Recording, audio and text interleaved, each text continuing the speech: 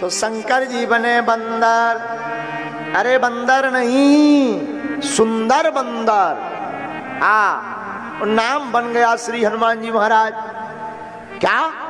हनुमान जी के बहुत नाम है, एक नाम है बजरंगी, जिनकी वज्रश्री देह है। वज्र के समान जिनकी कठोर है, कुमत निवार सुमत के संगी। कुमत को निवारने वाले श्री हनुमान जी बजरंगी। तो हनुमान जी, राम जी के भाई। अवतार का महोत्सव तो जान लिया, भाई कैसे लगे?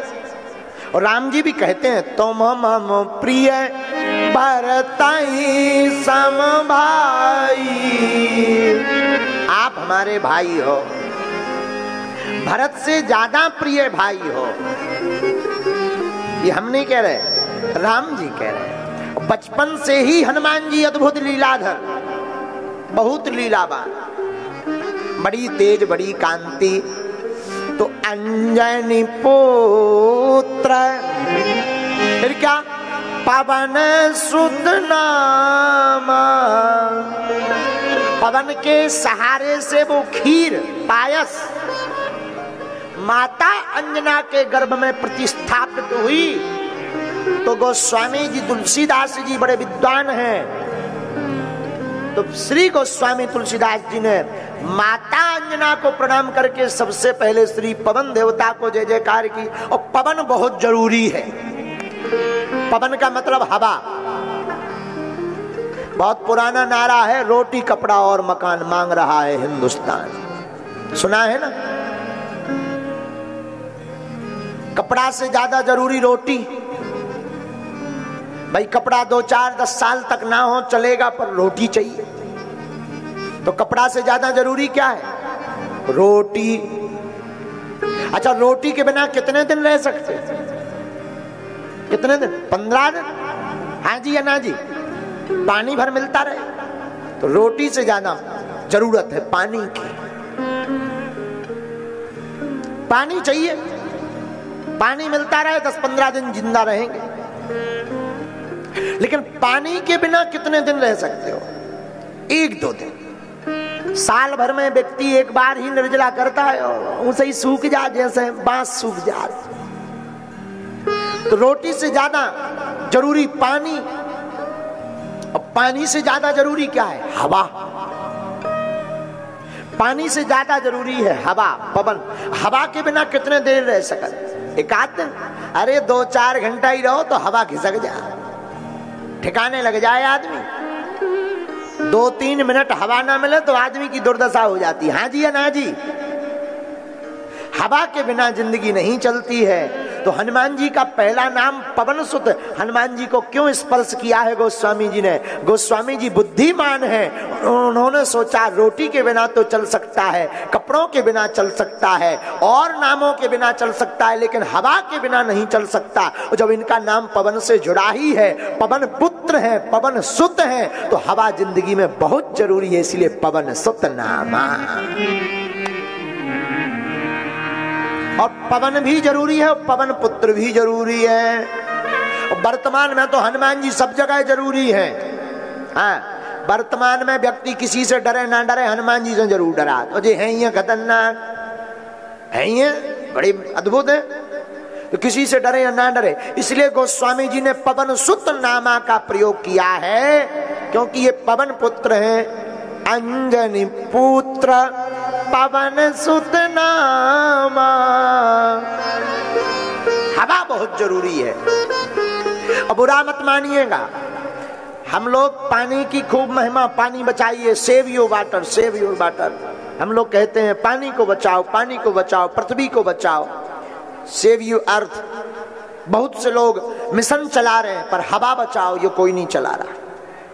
बल्कि ज़िंदगी में यही ज़रूरी है। और हम लोग इतने विचित्र हैं, जो सहज बस मिल रही और जो सबसे ज़्यादा ज़रूरी है, उसकी कोई महिमा नहीं गाता है।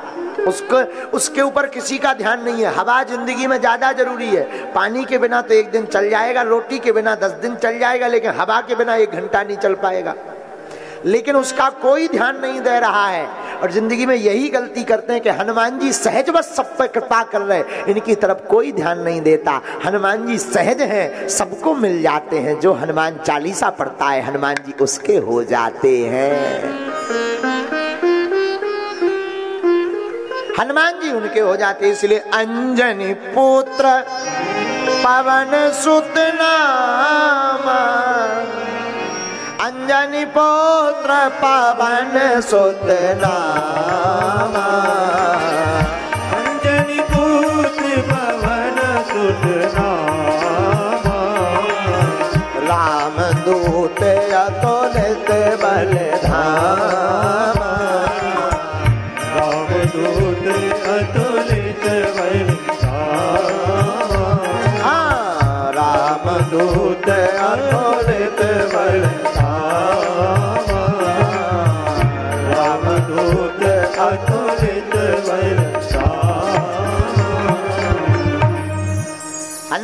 पवन सुत हैं। इसलिए गोस्वामी तुलसीदास जी ने हनुमान चालीसा बहुत सोच समझ करके लिखा है।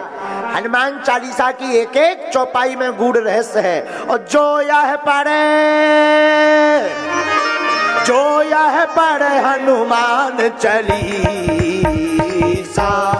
होए सिद्ध साकी गौरी।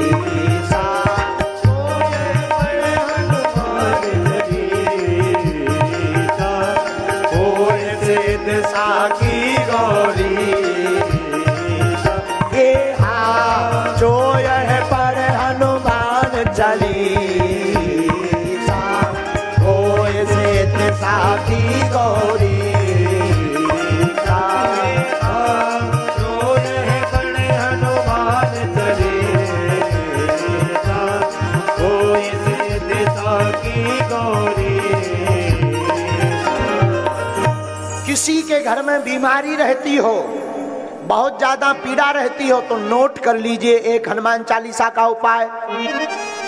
अपने मोबाइल में रिकॉर्ड कर लीजिए।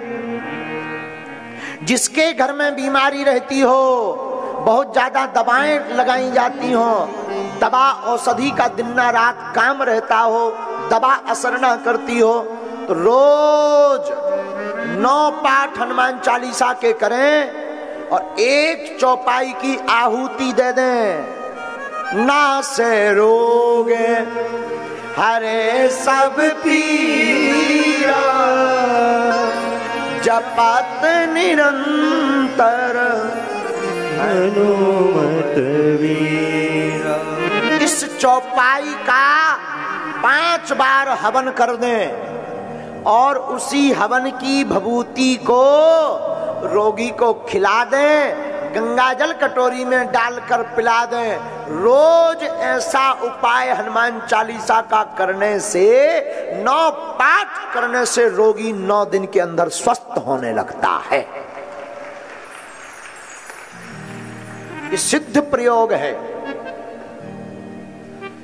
तो अगर आपके घर में बीमारी रहती है तो इस उपाय को करिएगा।